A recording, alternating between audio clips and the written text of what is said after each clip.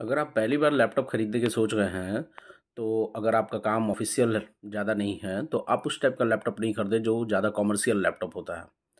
तो commercial laptop के अलग स्पेसिफिकेशन होते हैं और एक जनरल लैपटॉप के अलग स्पेसिफिकेशन होता है। जनरल लैपटॉप जिसमें आप नॉर्मल एम एस वर्ड चला सकते हैं, मूवी देख सकते हैं, कुछ छोटे मोटे काम कर सकते हैं लेकिन आप अगर कॉमर्शियल लैपटॉप ख़रीदते हैं, जिसमें आप कोडिंग कर सकते हैं, थ्री गेम खेल सकते हैं और भी कुछ टेक्निकल वर्क कर सकते हैं। तो उसके लिए एक अलग स्पेसिफिकेशन होता है।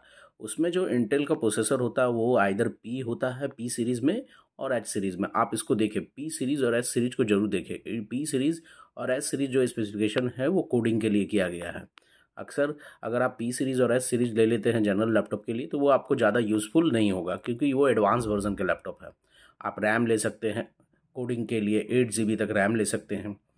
और अगर आप उसमें जाएँगे प्रोसेसर तो इंटेल का पी सीरीज़ और एस सीरीज़ जाएँगे आप उस पर और आप उसमें अगर हार्ड डिस्क आपका है हार्ड डिस्क तो आप पाँच सौ बारह जी बी तक ले सकते हैं। मिनिमम मिनिमम मैं बता रहा हूँ कि इससे ज़्यादा भी आप ले सकते हैं। आपका बजट अगर उतना अफोर्डेबल है तो आप पाँच सौ बारह जी बी से भी ज़्यादा ले सकते हैं। और अगर आपको कोडिंग में ज़्यादा इंटरेस्ट है तो आप उसमें थ्री कार्ड भी लगा सकते हैं थ्री गेम खेलने के लिए।